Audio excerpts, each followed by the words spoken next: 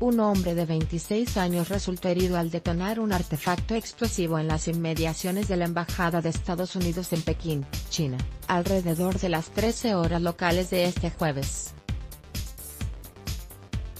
De acuerdo con información de la comisaría de Pekín, un sujeto, de 26 años, resultó lesionado en la mano y, tras ser sometido, fue trasladado a un hospital para ser atendido.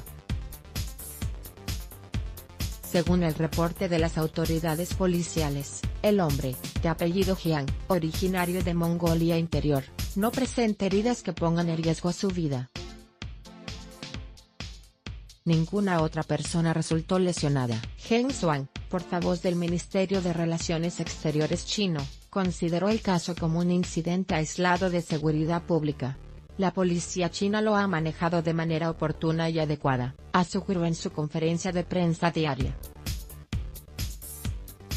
La detonación del artefacto casero se registró en la intersección de las calles Tianse y Anjialou, la zona sureste de la embajada de y, en el distrito de Chaoyang, donde también está ubicada la embajada de India.